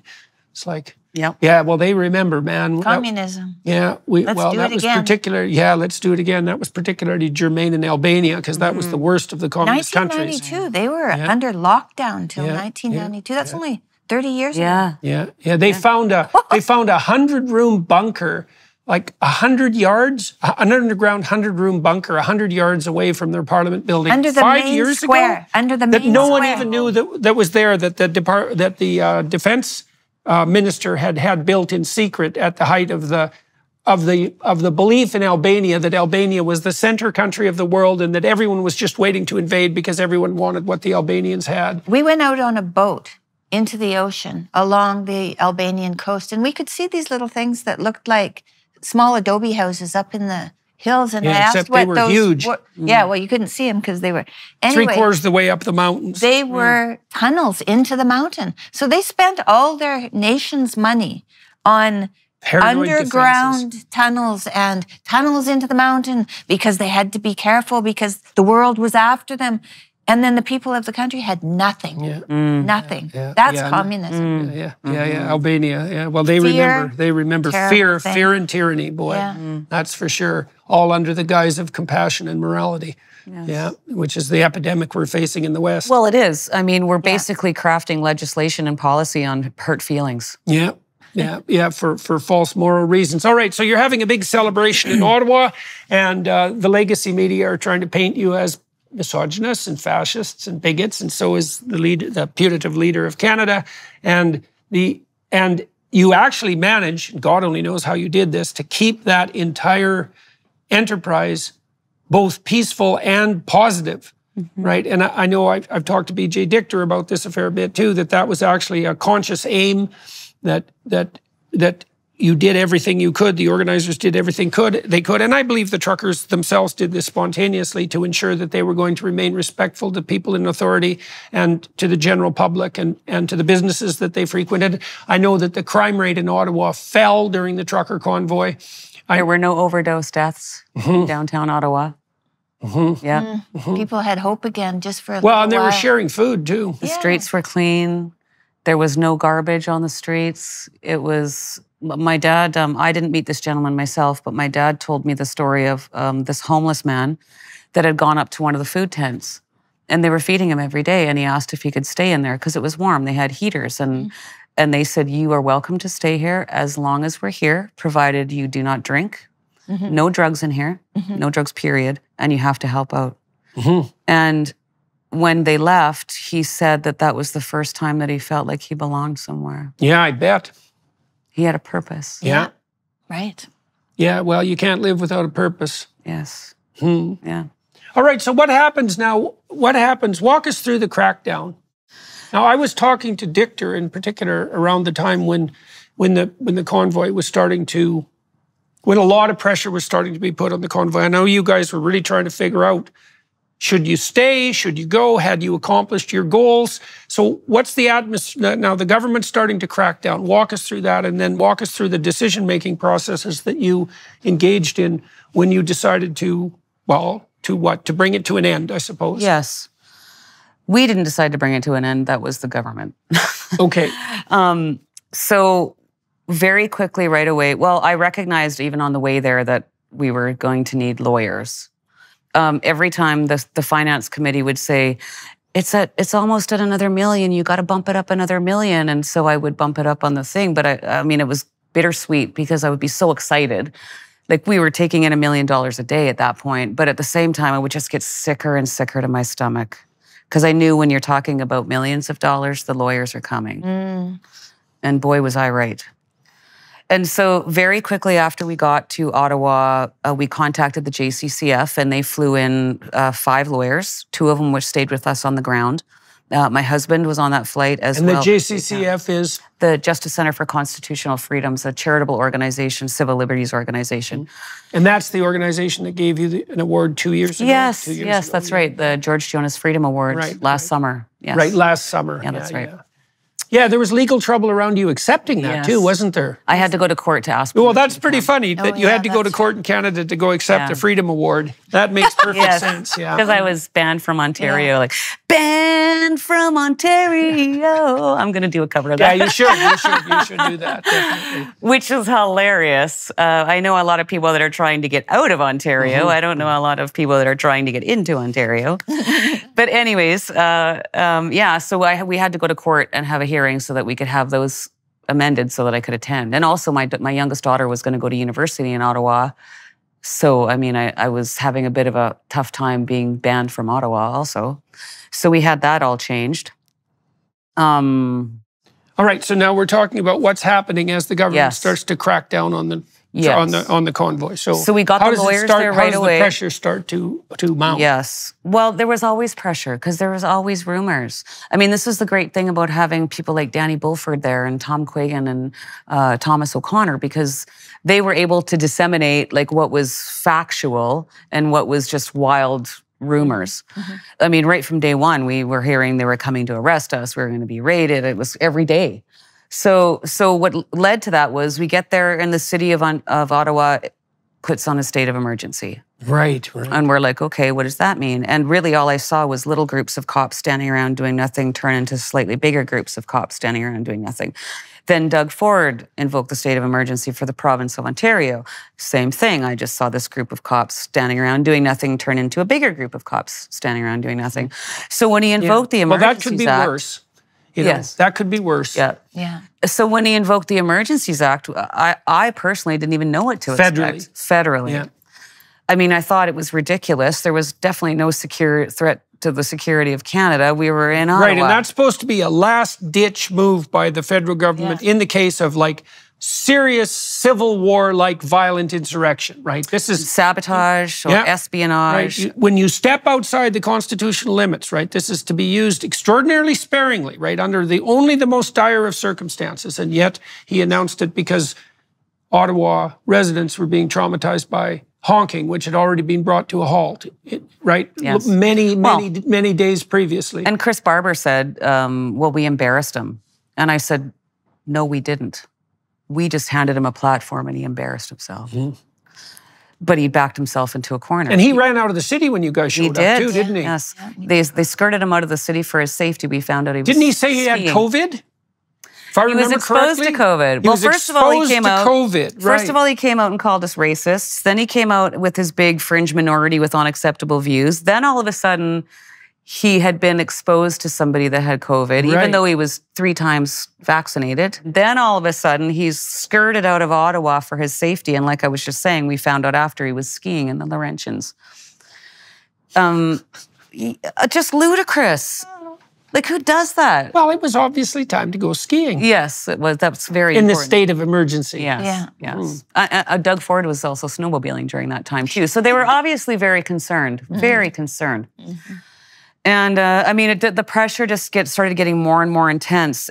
And the irony of the invocation of the Emergencies Act was that Keith Wilson, myself, and my husband were on our way to go meet with the Honorable Mr. Brian Peckford. Uh-huh. And on the way over, we heard on the radio that Justin Trudeau was going to be invoking the Emergencies Act. So imagine that moment. We walk, we walked in, and Keith told Mr. Peckford about that, and and he just sort of like sat in Right, and chair. Peckford was one of the creators of the, The act last that living- actually uh, put the potential for the powers for the Emergency Act in place, and has stated very publicly that Trudeau, the Trudeau government, by no means or by no stretch of the imagination had encountered a situation that necessitated what the original framers of that documented document would have considered a genuine emergency. Yeah. Right. So, I mean, just he just went full on nuclear. and, that's when the bank accounts were, were Yes, being frozen that's as well. 200 yes. Canadians, right? 280 Canadian Yeah. citizens. Yeah, had their, had their money were, stolen. mothers were stuck at the grocery store till, Mm-hmm. unable to pay for their groceries. Families were unable to buy medicine for their children. They couldn't pay mortgages. Mhm. Uh, people couldn't pay or receive their child support. There was no parliamentary oversight. There was no court order from a judge. Chrystia Freeland couldn't do it fast enough. I mean, she was giggling like a schoolgirl when she announced it, uh, which was appalling. Mm-hmm. And the evidence that came out at the inquiry was that she wanted to label us as terrorists so she could seize our assets. Mm-hmm. It was disgusting. Mm-hmm. And so I'm doing a lot of American media right now to promote my book. And that and that's one of the things I always say is that this isn't just a story for Canada. No. This is important. Yeah. Because if they can do it in Canada, the most peaceful, passive, and polite country on the planet, mm. it can happen anywhere. Mm-hmm. And it will happen. Yeah, well, I know like w- one of the things we did learn traveling around. I think Tammy and I have been in like 250 cities, something like that, in the last two years. And Canadians have no idea what the bank account thefts in particular did to Canada's international reputation. Yes. I mean, first of all, I think Trudeau is regarded around the world as the worst leader of the G7 by a large margin. And I would say, especially in Eastern Europe, that's true among those on the left as well as those on in the center and on the right. And the most egregious error he made was taking bank accounts. Like people cannot believe that happened, and certainly not that it happened in Canada.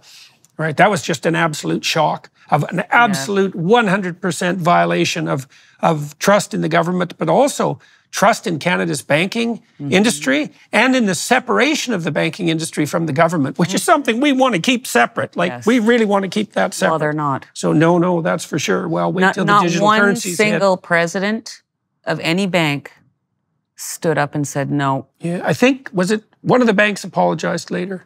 Yes, I don't remember right. which I- one. was I think it the it was Nova, Nova Scotia. Scotia? Yeah, I I think, think it was it the was Bank Nova of Nova Scotia. Scotia apologized. Well, I, I'm sorry, an apology doesn't cut it. no, that's for sure. Like, You- where were you guys when this? You, they should have been standing up and saying, "No, we need like a court order from a judge or or anything." No, we need like 10 court orders from Yes, judges. I mean- right. This isn't something we do overnight because we kowtow to the tyrants in Ottawa. Exactly. That's for sure. But it was intimidation. Yeah, Yeah. what was the rush to close the bank accounts? You know? Yeah, well, It everything's an emergency. yeah. That's right. Yeah, yeah. All right, so things start to get tense in Ottawa. And how, Mm-hmm. Very how does that play out on the ground? Well, a lot of people started leaving because they were threatening to take insurance and seize vehicles, like uh, And children? and take the children, pets. Again, back to the provocation where it started off. Pets. Pets. Yeah, they were going to come take pets. Take those pets. And they tried really everything that they could. And so a lot of people started leaving, which we were encouraging because we didn't want, we didn't know it was coming. Mm-hmm. I mean, I never in my wildest dreams imagined that was coming, but I, we didn't want anyone to get arrested or lose their jobs. I mean, these mm-hmm. people have suffered enough. Right. And I remember the Wednesday, the Wednesday before I was arrested, I was at the Sheraton, and a group of our core people started leaving, and um, a, a, a Quebec mother, one of the road captains, was was taking off, and we said a very tearful goodbye. And I went up to my room, and I was upset, crying because we were saying goodbye to these people became our family, and um, I reached into my pockets, and of course, every time I was on the hill, like people were literally stuffing money into my freedom pants. I called them my freedom pants. And I and I was like, oh my god! So I ran back downstairs, and I just I just gave her everything I had, and uh, you know we said another tearful goodbye. My dad had come into town with my sister. They'd brought some supplies, and they were also picking up my other sister. And we were at the Swiss Hotel, and I remember Dad said, "Well, we're going to." They my sister wanted to go to Gatineau because she'd never been to Quebec, and and um, I said no. Dad was like, "Well, we'll get a room and then we'll leave in the morning." And I said, "You guys need to get as far away from here as you can, now." And I started walking upstairs, and I remember I turned around and I just said, "I love you, Dad." That's when the rumors were flying that you Yes. evil truckers were going to regroup somewhere That's right. outside of Ottawa in preparation to retake the city. That's right. Yeah, yeah, yeah. which is something you know that I, I find a little bit odd that that they don't give us credit for especially after what came out at the inquiry i mean we outnumbered and overpowered them. If we had been there with an agenda to take over Ottawa and overthrow the government, Mm-hmm. We could have done it. They were not prepared. Mm-hmm. The Ottawa City Police was in a shambles, an absolute shambles. I mean, one hand didn't know what the other one was doing. And would that happen to us in real time? A liaison officer comes to the Swiss to deliver a message, and halfway through his message, we're like, what? Because we had a different message. He gets on his phone and finds out it was the wrong message. Like this is Oh. happening right in front of us. Oh, wow. The ineptitude hmm. of that organization was stunning. Right. And you're saying that in contrast to the Ontario On co- Provincial yes, Police. they were amazing. What do you think the difference was? Like, why do you think it was so inept in Ottawa, and, but working at the Ontario level? I don't know bureaucracy. Yeah, but they're both bureaucratic, Yeah, right? You One know? woke bureaucracy. Yes. One maybe not so woke. Maybe, maybe, yeah, maybe. Sounds like it to me Maybe. because the the the clowniness, the clowniness of that sounds woke. Yeah, right. Yeah. Right, right. Yes, I think that's a large part of it. And I mean, um, Chief Sloly, who was the police chief at that time, was having a lot of problems internally with his people not listening to him. And Yeah, well, no wonder. there you uh, when you listened to him publicly, you thought, well, there's someone that no one should listen to. Yeah, you're right. But you know what? I did get to go up to him at the inquiry and I shook his hand and I said, Thank you for your service. And I'm sorry for the fallout Yeah. that's happened to you because he, I believe he did the best he could. He was under a lot of pressure. Did he do and say a lot of the right things? Absolutely not. But this is very telling. There's six weeks of testimony at the inquiry. Justin Trudeau, Chrystia Freeland, Marco Mendicino, David Lametti, uh, all these clowns, sorry, all these uh, members of parliament were on the stand and examined for about two hours. Peter Sloly was on the stand for two days. Two days. So he was being scapegoated. Yeah, Mm. yeah. He was being scapegoated. And I remember the day that he announced his resignation, everybody in the room was just cheering and celebrating. And they thought this was excellent that this chief and, and I was, Keith and I are like, this is not good. Number one, a man just lost his entire career today. And number two, what's coming next is not good, is going to be worse. Mm-hmm, mm-hmm. And we were right. Mm-hmm. So it was very intense. Lots of people were leaving. We were saying a lot of goodbyes. And um, I went and did the video the night before because I was we were pretty sure we were going to be arrested. And I wasn't going to leave. Like, how could I mm-hmm. leave? I wasn't going to leave all those people there. Mm-hmm. You know, that's my perspective. I mean, I don't mean to sound cliche, but I mean, a captain goes down with a ship. Mm-hmm. So we we made plans. We got some people out of the Swiss hotel because we thought if we're going down, we need someone to keep the ship afloat. So I sent Keith and Eva to a different hotel. We sent the accountant somewhere else and some other people somewhere else. And um, I'd been walking around the last few days there, seeing these F Trudeau flags and people yelling at reporters. And while I do believe that we were all justifiably angry, my perspective is we can't win. We can't meet hate with hate. Mm-hmm. Uh, Uh, and uh, that was my message from the start. We, we can only do this peacefully. We can only do this coming from a place of love in our hearts, no matter what you think. And it was upsetting me. So I went up and I did that last video and, and discussed that. You know, I just said, please remember that Justin Trudeau has three kids that have that same last name. And just like I have three kids. And my kids are waking up to see me called horrible names. One of them woke up to read that I was dead, Yeah. in jail. Yeah. Really. Uh, not at that point, obviously, but you know, this is the stuff that they were seeing. And I was, and I'm just thinking, like, think of them. Even if you hate him, think of them. Think of those reporters that are out there, I mean, doing a terrible job. I mean, they're probably just trying to feed their families, is what I said. And I don't think Yeah, but that's they an could do that. They could do that by doing a good job. I agree. I agree. But I get your point. Yes. And um, yeah, and then I was pretty sure that I was going to be arrested. And uh, sure enough, the next day, the next day, yeah.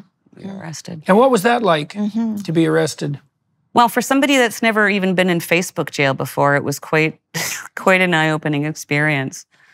Um, I, I spent the evening in the police at the police station in the cells there, which was awful. I'd spent the day walking around with a veteran, talking to people and signing flags or whatever, just talking with people, listening to their stories. And so by the time we got back to the Swiss, I was quite damp and cold. And then And then Danny and I made the decision to go out and turn ourselves in after Chris had been arrested. Number one, uh, the lady that owns that hotel, And had you been charged at that point? So uh, why did you turn yourselves in? Like, because they arrested Chris, yeah, we knew that they were looking for organizers. We turned ourselves in because we didn't want them coming to the Swiss hotel because she's such a sweet woman. Like she, we saved her from bankruptcy. She was two weeks away from bankruptcy when we showed up. We that saved her business. My husband and Danny's wife were both at the Swiss hotel, and I can't even imagine the trauma of having to witness something like that. I mean, I had it easy. I was in jail. It's the people around me mm-hmm. That really suffered. The people that cared about me that really suffered. I was, I'm fine. I was fine. I mean, Yeah, yeah, it was it great? No, it sucked. Um, but I, you know, I, I prayed. I, I just said, okay, God, we've exposed so much. You're obviously not done with me yet. And if this is my job, it's Thy will, not my will. And one foot, one foot in front of the other. You just keep on keeping on. Yeah, I, one I knew it wasn't at going to time. last Well, and you, forever. you guys, may- maybe right. we should, because we're starting to to encroach on the end of our time. Maybe we should uh, talk about what the trucker convoy accomplished. So let me lay out some of the things I saw, and then Yes. please, please, you know, elaborate. So, well, first of all, it was a model for a peaceful demonstration of great magnitude, well organized, under a tremendous amount of duress, right? And in in an inhospitable climate, literally speaking, and an inhospitable political climate, right? Under assault by the lying legacy media and by the top leaders of the country, right? So that's all quite something. And yet it was extremely peaceful and not so peaceful that it was impossible for the people who were trying to pillory you to even find single events that weren't entirely fabricated that indicated that anyone there at all was causing any untoward trouble. And that was always what I was looking for because I thought you guys would be infiltrated by like that the wingnuts would show up And sooner we were, or later. And but we yeah. mitigated that. I, that's what I was saying. If there's, it was like see a need, fill a need. You know, uh, Yeah. with- Antifa came in right away, so we set up block captains, and they would do patrols to make sure that the people were safe in their trucks. So they'd walk, they'd walk the streets. Right, at so you had jobs for them. yes, Yes, I right. mean, yeah. that's what I'm saying. Um, but And going that back worked to with your- Antifa. Pardon me. That worked with Antifa. yes. Yep. Yep. We So they just need way- something to do. Yeah. Yeah. that, that's really not that surprising. Yeah, know. exactly. Yeah. But the superintendent uh, of intelligence for the OPP testified at the at the inquiry that the lack of violence was shocking. Hmm. Mm-hmm. That his words. Mm-hmm. He also testified that what he was hearing coming from the media and from our politicians did not match with the intelligence that they were getting off the ground. So again, Lion Mendicino is up there every day talking about how violent we were and on and on and on, like we're rapists and arsonists and insurrectionists. And it was all a lie. The mm-hmm. night they arrested those two guys in- in that apartment, Yeah. they knew. They knew the night they were arrested, The, they arson, weren't with the, the convoy. arsonists. Yes. that- yeah, yeah. and they And they- that's never been properly up. investigated and described in the Canadian media. Well, that it's was going to be.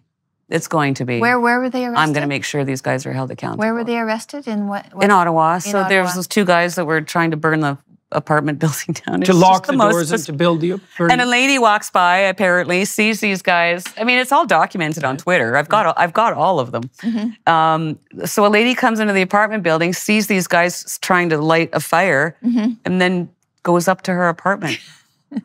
yeah, Right. Glen McGregor was first on the scene. He was there before the police were called. Mm-hmm. yeah. That was quite. That was quite the state of affairs. Just an absolute bloody, what what lie from from beginning to end. Really, really quite stunning. All right, so you managed this extremely peaceful demonstration that was broadcast intently around the world, despite all of the legacy media lies, which and that's all they did pretty much was lie about it. Yes. And that was a model for people around the world. I think I know for a fact because I've talked to the Dutch farmer organizers that the Canadian protests were, um, what would you say, Inspiration. inspiring, inspirational. Yeah, and that's happened in many countries. And and uh, I think it's also given the Dutch farmers heart, and that's produced somewhat of a political transformation in Holland, which is or in the mm-hmm. Netherlands, which is a really big deal. And then there were radical changes in Canadian policy after you guys were after after the trucker convoy ended. Mm-hmm. And so so, well, let's talk about what you faced right at the end. I mean, we saw footage of the police come riding in with horses, and we saw, you said, we, we talked last night about the woman who was trampled by the police. You want to tell, talk about her for a moment? Uh, yes, I, I was just fortunate enough to spend the weekend with her and uh, Csaba Vizi too. Um, Candy was a carnival worker here in Ontario, and she was there protesting peacefully. She's, I can't remember the reserve she's from, she's Mohawk. And she was there with her walker, and they trampled her. And she's got a broken clavicle, which has not been addressed yet. Um, well, she, she needs help, right? So um, she's unable to work right now, clearly traumatized. You know, it was devastating what they did. And um, and also Csaba, who is just one of many, um, was surrendered peacefully, came out of his truck and was badly, badly beaten. Mm-hmm. He had broken he had broken bones in his neck. He had a broken wrist, uh, internal bleeding. Didn't you say they were kneeing him? Yes, Mhm. there's footage. I, I've sent it to you guys. There's footage. Um, yeah, he surrendered peacefully, and you can see these cops like literally with all their might kneeing this guy in the in the back. It was atrocious, and he surrendered peacefully. It's not like he was resisting arrest. I mean, we we'd all talked with Danny. We all knew what to expect if they are going to arrest you. Don't resist. Tell them who you are. Like identify yourself, and then that's all you have to do. Just go. So and then a lot of these people um, were arrested, handcuffed, left in cold transport units or paddy wagons for hours, driven out to the outskirts of Ottawa, and dropped off in a snowstorm. No way. Way, way. Wow. Really? Thankfully, Melissa McKee from Bikers Church and her husband, who are just the most beautiful people, she, they were very involved in like it was their their church was like a sanctuary, mm-hmm. and so what she'd been doing was a lot of the people that she knew, she would have them write her number on their mm-hmm. arm mm-hmm. and their lawyer's number on their arm. So when that happened, or if that happened, they they could call. Because I mean, a lot of these people they don't know anybody there. You know, uh, if I got dropped off on the outskirts of Ottawa, I would have no idea where to go. If I had no Right. cell phone or, you know. So, in the aftermath of the trucker convoy, now the the Conservative Party essentially shattered itself, which really wasn't the goal of, Wasn't the, that of wasn't the goal of the convoy, right? But But we became the official, the unofficial, official opposition. yeah, yeah, yeah. What else do you think the the convoy accomplished? That restored. Oh, this makes me cry. I don't know why this always makes me cry. People were proud to be Canadian again. That the two words that I heard the most. The first one was hope, coming all across Canada. Was the number one word I heard, and the second one was pride. Yeah. Hope. That's a hard thing to give people. I mean, I myself, Canada Day is, was always one of my most favorite holidays until the last few years, and I Mm-hmm. had just quit going. But I mean, I was the one that would always take my kids to the fireworks. Like, this is Mm-hmm. important. You know, I grew up being fascinated watching the Americans and their passion for their country and their flag, and I, I was always yeah, Americans fascinated are very by good at that. that sort of thing. Yes, and and and but there was never that sense here, and so that was my first experience imagining what that must be like. So, and I think we opened a lot of eyes. Like I, I do Well, believe. and, well, and a lot of the COVID tyranny started to fall apart in, in, in the aftermath of the trucker convoy, and it well, was it should have been my- a super spreader event. We Yeah, should have all been right, dead of COVID. Right, right, Yeah, right. I couldn't No, tell you one person no. I know there that that got COVID or had COVID. Yeah, what was more like a super spreader event that took down the COVID tyranny, right? Because things really did start to open up after that. And I know the politicians denied that there was any connection, but it was pretty bloody obvious that there was a connection. Mm-hmm. So that was really heartening to see. Yes. Mm-hmm. You know, because, you know, mm-hmm. one of the things to remember that is did? that, well, That might have been the thing. who that did it. knows, right? Because we toyed with totalitarianism for two years. Like we seriously toyed with it.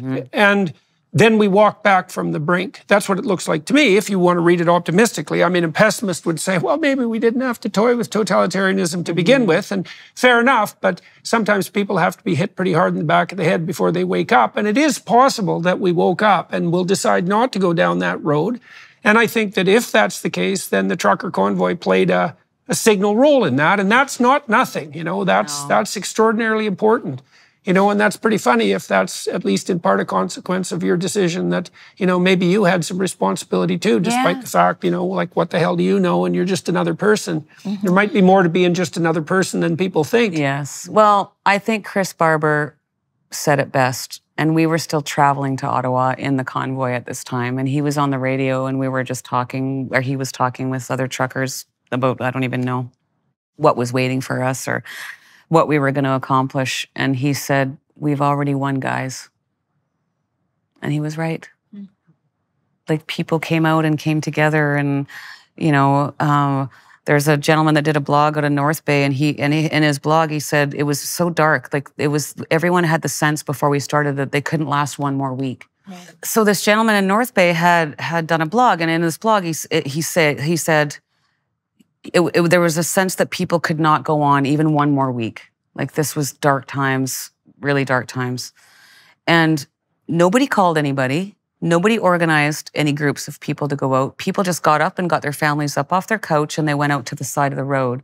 And then when they got to the road, there was all these other people there, are thousands of people there. And I can imagine the darkness. That's right. it's winter. Yeah, yes. it's cold, man. Cold. Right, yeah, right. we this can when it's cold. Yeah, yeah. But all of a sudden, there's all these people there, and they're like, they're, they didn't feel alone anymore, and they didn't feel like they were going crazy. Because I, that's how I felt sometimes. Yeah. I was like, how what the hell? How can you guys on? not see what is going on here? Like, am I the only person seeing this? Mm-hmm. And and so it was just so it was just so beautiful. It was honestly the most beautiful show of humanity I've ever seen. And Canadians did what they do. We had yeah. more donations than we knew what to do with. We were taking food to as far away as Sudbury to the food banks because there was so much. You know, out at the farms, we had the little outposts. I mean, there was dog food, lip chap, gloves, uh, tampons, everything. There was everything under the sun that Canadians just donated in droves. Yeah. You know, and, and that's to, that's the Canada that I grew up in. Yeah, well, maybe Where, maybe we'll hang on to our freedom. You never know. It's possible. We're going to find out over the next decade, that's for sure, because we're really toying with things on both ends at the moment. But yes. yeah, well, it was heartening to see this happen. And while it was heartening to see its effect, for example, in the Netherlands, that's a big deal, right? That what the Dutch yes. farmers are doing there, that's everybody in the world should have their attention focused on that because that's battlefield central. Mm-hmm. These local these local battles aren't local at all. No. That's right. And that's why so much international attention was focused on the Canadian trucker convoy at that point mm-hmm. too, you know, because everyone had the sense that well, this is about more than well, it's about more than Canada. That's for sure. And it's about more than the you know, local concerns of a handful of misogynists, bigots, and Confederate flag waving fascists. That's for sure. Mm-hmm. Well, I mean, never before did we quarantine the healthy to protect the vulnerable. Yeah. Right. Never yeah. before. Yeah. Yeah. Well, and and and to no good end, and and and and and as a consequence, we've produced a tremendous amount of damage, and it'll take d- decades really to sort out exactly the cost of all that. Yeah. Well, I, I deal with that. I have a I have a daughter that has developed a drinking problem. Mm. Um, she suffers, she can't drive from Manitoba to Medicine Hat without having two panic attacks. She's mm. depressed. I mean, she her graduation consisted of her putting on a gown and a mask and having a photo taken. Her graduation. Yeah, yeah, yeah. yeah. We took a, a lot from those kids, boy. Yes, yeah. that's Do you know that's your whole school life is getting ready for that one moment. Yeah. yeah. And then she went and did a semester at uh, the university in Calgary, locked in her. Uh, yeah. Uh, yeah. I mean, she should have been going to pubs at full tuition. And, uh, at full yes, tuition. Yes, Let's right. not forget that. Yes. Yeah, that was the university's contribution to the totalitarian catastrophe. It's like, well, we won't actually offer you any services, but we'll take your money. Yes. Yeah, cute. Yes. Yeah. Well, look, we can we can end this with some hope. You know, the trucker convoy did accomplish a lot, and mm-hmm. we didn't get a chance to talk to talk to you about what you're facing now in the future. Maybe we'll do that on the Daily Wire Plus side. For those of you who are watching and listening, thank you very much for your time and attention, and to the Daily Wire Plus people for arranging this on very short notice because Tamara just came over for dinner last night. We decided to do this then. That's very helpful. Um, I'm going to talk to Tamara for another half an hour on the Daily Wire Plus side. And you guys who are watching and listening, you might consider heading over there and providing them with some support. You know that YouTube has been on our case because I'm allied with the Daily Wire folks for better or worse at the moment. And uh, they've really launched, you know, somewhat of a full frontal attack on us in the last couple of weeks. And that's not good. And so if you're concerned about that, um, well, one thing you can do or think about doing is to provide the Daily Wire Plus folks with some support. They've been very good partners for me, for whatever that's worth. And uh, and Tamara, thank you very much for agreeing to talk to thank us you. today. And Tam, thank you for participating thank you for today. Me. Thank you. Yeah, yeah. Our country. Thank you. Yeah, yeah for sure. I appreciate it. All right, everyone. Good. Thanks a lot. Okay.